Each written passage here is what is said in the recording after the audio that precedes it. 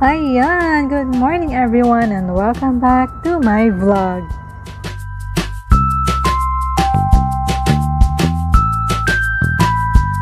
Ayun guys, so alam ko na ang buong mundo ngayon ay may matinding pinagdadaanan. May mga matindi tayong pagsubok na ngay- ngayon na kailangan natin harapin. No? Pero hindi yan magiging, balakid para ah, magpatuloy tayo sa buhay at magpatuloy tayo sa mga bagay na gusto nating gawin. I hope na lahat tayo ay safe, lahat tayo ay nasa loob lang ng ating mga tahanan upang makaiwas tayo sa mga banta ng ah, sakit. Okay guys, para sa video natin ngayon ay ah, pag-uusapan natin yung tungkol sa mga ah, few phrases na ng Arabic na ginagamit natin sa araw-araw na conversation o araw-araw nating pakikipag-usap. Okay, um, may recommend ko o may sasuggest ko itong video na ito doon sa mga bago pa lang na papunta dito sa Saudi o pa-deploy pa lang at saka para doon sa mga hindi pa nakakaalam ng mga uh, syempre ng mga hindi pa nakakaalam ng mga words na to. So, simulan na natin. Ayun guys, naglista ulit ako ng mga uh, yung mga sasabihin ko dito. Ayan siya. Pasensya na bakit gula-gulanit kasi yung uh, ano ko pinaglaruan.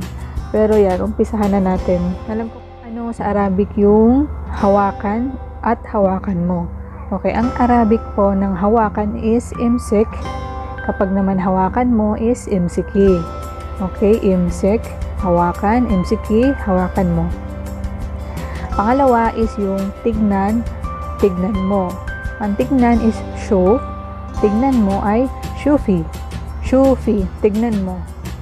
Okay, shuf, shufi. Pangatlo, yung shum. Shum sa Tagalog is amuyin. Amuyin, shum, amuyin mo, shumi.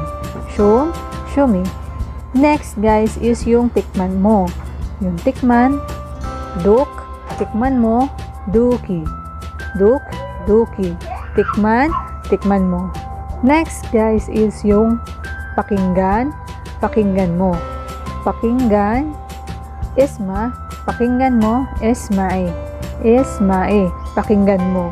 Isma, pakinggan, ismae, pakinggan mo. So, yan guys, sumunod, hawakan ko na lang kasi para hindi mahulog yung phone. Dahil ginugulo ng aking napakabait na anak. Okay, so sumunod is yung alisin. Ano yung alisin sa Arabic? Alisin is shil. Um, yung alisin mo is shili. Okay?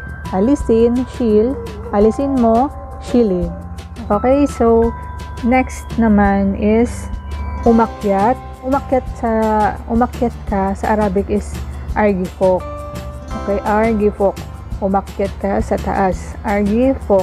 O kaya dalhin mo sa taas. Ano yung Arabic ng dalhin mo sa taas? O pwede nyo na rin sabihin na wadifok. Wadifok. Okay? So, ano sa Arabic yung ibaba mo sa baba? Ang Arabic nung ibaba mo sa baba is nasli tahat. Ibaba nasli. Ibaba mo nasli. Ibaba nasal. Pag ibaba mo nasli. Okay? Nasal tahat. Ibaba sa baba. Na, ibaba mo sa baba nasli tahat. Ibaba mo sa baba. Okay? Kapag ka naman yung bumaba ka sa baba, ano Arabic nung bumaba ka sa baba? Ibig sabihin nun ay, sa Arabic nun is inzili tahat. Inzili tahat. Sumunod guys yung ano, um, ano ba yung nakalagay rito? Yung ilagay. Okay. Ano sa Arabic yung ilagay? Ang ilagay is hat. Hat. Tapos ilagay mo is hati. Hati. Ilagay mo doon hati hina. Ilagay mo rito hati hina. Hati hina. Yun, hat. Ilagay. Ilagay mo hati. Okay? So, sumunod is yung itulak. Itulak sa Arabic is duf. Okay, duf, itulak. Okay? So, next is yung kanina sinasabi ko, yung dalhin. Okay? Wadi. Dalhin, wadi. O kaya bring. Dalhin sa taas, wadi fok. Dalhin sa sasakyan, wadi bil siyara. Okay, wadi bil siyara. Dalhin mo sa sasakyan. O kaya, um, yeah, dalhin mo sa sasakyan. Wadi Belsayara. So, next, okay, next word tayo, yung pumunta. Ano yung Arabic ng pumunta? Very common. Ruh. Okay, ruh. Ibig sabihin, pumunta. Pumunta ka, doon, ibig sabihin, ruhi, o pumunta ka sa taas. Ibig sabihin nun sa Arab, ay, ang Arabic nun is um, ruhi folk. Ibig sabihin, umak, pumunta ka sa taas. Argi folk, uh, ibig sabihin, umakit ka. Ruhi folk naman is uh, pumunta ka sa taas. Are you eating apple? Are you eating apple, bebe? so yun, may kasama ako mag-vlog. Yung aking panganay na si Arshad, kumakain siya ng apple. Say hi to my vlog. Dato. Yan. Arshad ang name niya, pero tinatawag ko siyang Datu. Yan ang pangalan, pangalan niya. Ang Datu, maiba muna tayo guys. Saglit lang. Ang Datu, kasi ako yung maganda noun. Ang Datu sa amin, ibig sabihin is prince. Parang ganun. Pag babae naman is by, ibig sabihin is parang princess. So, yun. At least meron kayong idea. Okay. Sumunod na word is yung ano sa ano sa Arabic yung umalis. O umalis na. Ibig sabihin nakalis na. Pag tinanong pag tinanong ka ng amo mo um, nasan si Madam friend, Madam, sabihin mo Madam Rahat. Rahat. Ibig sabihin umalis na. Okay? Rahat, umalis na. Pag lalaki naman is rah. Okay, rah. Pag uh, lumaba, uh, yung lalaki yung pag sa lalaki ay umalis na rah. Pag babae naman is rahat. Okay, ano po yung Arabic naman ng itapon? Okay, itapon mo. Yermi sa Arabic. Yermi. Yermi belzabala. Ibig sabihin, itapon mo sa basurahan. Yermi. Ano naman po, okay guys, okay guys, ano naman sa Arabic yung kunin mo? Okay, yung Arabic ng kunin mo is kodi. O kodi. Ibig sabihin kunin mo. Kodi. Take it. Kodi. Ibig sabihin, kodi shanta kunin mo yung bag. Pwede rin na shield. Shili, uh, shield, shili shanta, ibig sabihin kunin mo yung bag. Shanta is bag, di ba? Okay? Hodi, kunin mo. Shili, kunin mo. Depende sa inyo nung gusto ninyong gamitin. Halos parehas lang naman ang meaning yun. Sumunod is yung ibalik. Ano yung ibalik? Ano naman yung ibalik mo sa Arabic? Raja eh. Ibig sabihin, ibalik mo. Raja eh, mikan ibalik mo dun sa pinagkunan niya o dun sa pwesto niya. Rajai, Mikan. Okay, ibalik mo.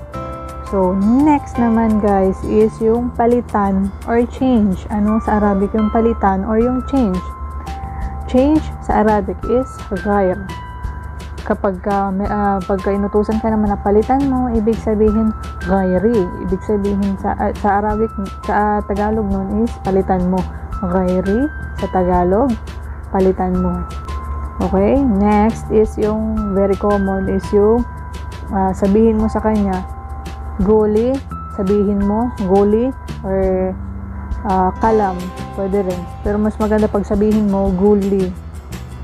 Ah, uh, guli is sabihin mo. Okay.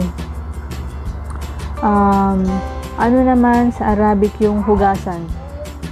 Okay, pinag yung hugasan sa Arabic guys is gasli.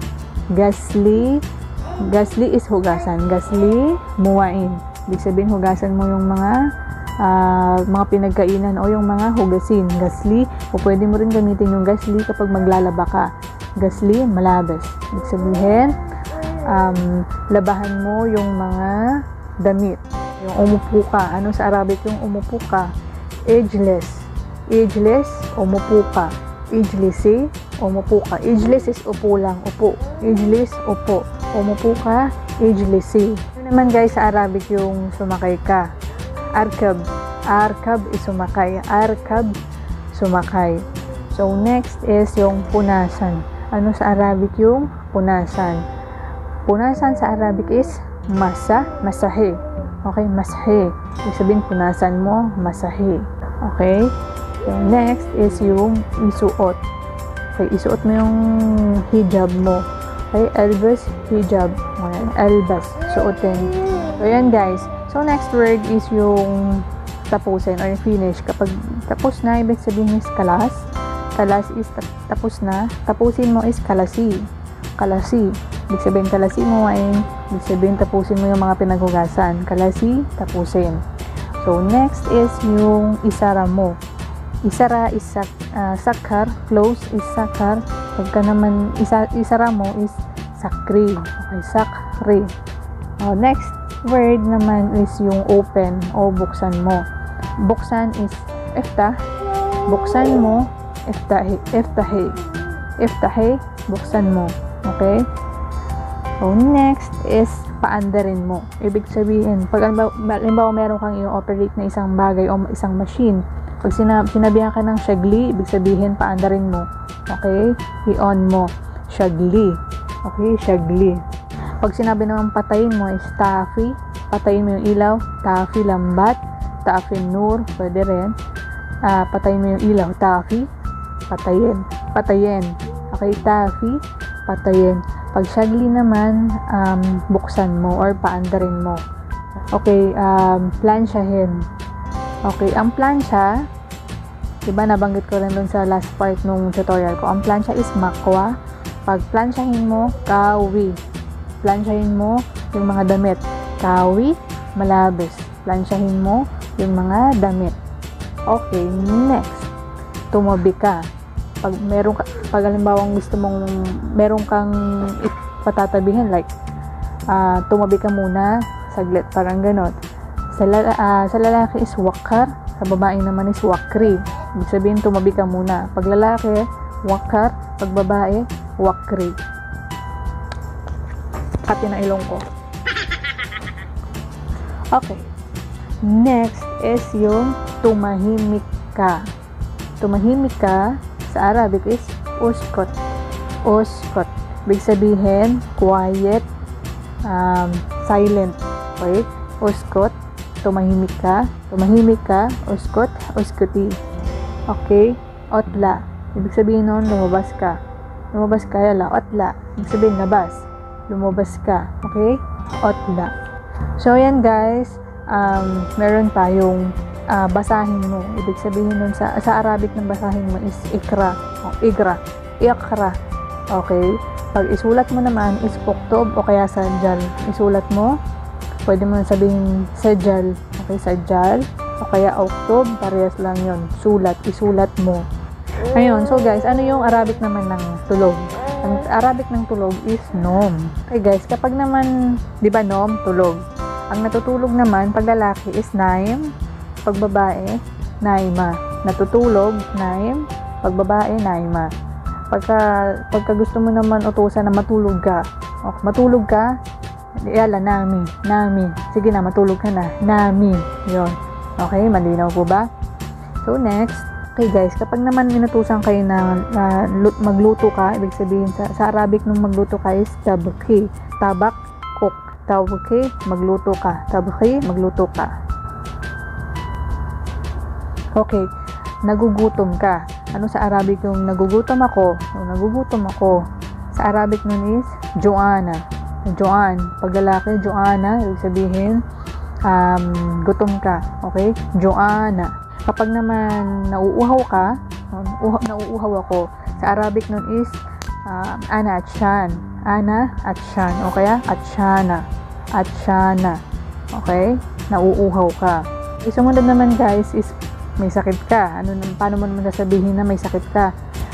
Malish, Ana Marid. Pasensya na, ako po ay may sakit. Malish, Ana Marid. Okay? Meron nagtanong sa akin guys pala sa comment section. Tinatanong kung ano yung please sa Arabic. Okay? Min Fadlek. Okay, min Fadlek, Malish, Ana Marid. Ibig sabihin, pasensya na, um, ako ay may sakit. Okay? Next naman guys is, I am sorry. I am sorry. Okay, sa Arabic nun is, Ana Asifa. Okay, Ana Asifa. Asif, pwede rin yung asif lang. Ana Asifa, ibig sabihin, um, para humihingi ka ng paumanhin or ipagpatawad mo. Okay? Sumunod naman guys is yung um, ayaw ko. Ibig sabihin ng ayaw ko sa Arabic is ana la urid. Ana la urid. I don't want. Ana la urid. Kapag naman gusto mo, uriddo. Okay, urid. Urido, ibig sabihin gusto mo. Ana ibaga, ibig sabihin gusto mo, po pwede ring I need. Ana ibaga, or po pwede mo rin sabihin na kapag kailangan mo is ana ihtaj, ihtaj, ibig sabihin I need. Ihtaj, uh, istri sabon, bilsuk. Ibig sabihin kailangan ko bumili ng sabon doon sa market o sa pamilihan. So again guys, yung mga tinuturo ko sa inyo ay hindi standard Arabic. Mahirap pong pag-aralan yung standard Arabic. Dito lang tayo sa mga Arabic na ginagamit ah, sa pang-araw-araw na pakikipag-usap o yung dialect na which is yung uh, maiintindihan naman ng ating kausap na Arab national. Okay, hindi ako nagtuturo guys ng masyado ng slang. Hindi naman natin na kailangan pang-aralin yun. Marami kasing nagko-comment na hindi naman kasi yan yung talagang salita nila eh. Oo nga, hindi po ito yung talagang standard na dialect ng Arabic. Pero once na yan po, ito, ito pong mga tinuturo ko sa inyo ay gamitin natin sa pakikipag-usap tsaka sa inyo may magkakaintindihan po kayo. Magkakaintindihan po tayo. Okay. So yun lamang guys uh, for today's video. I hope na nakatulong ulit sa inyo tong video ko na part 9. Ipa-flash ko sa screen kahit na medyo ma- marami. At least eh, maisulat ninyo o may screenshot ninyo.